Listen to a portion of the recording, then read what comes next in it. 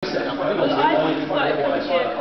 about how it's been six days since last accident. It had zero someone got hurt. Someone left, yeah, lost, lost their keys down a well somewhere, another accident. Well, we got that all the. Oh well, it should say injured because we only count injured. We're always having accidents.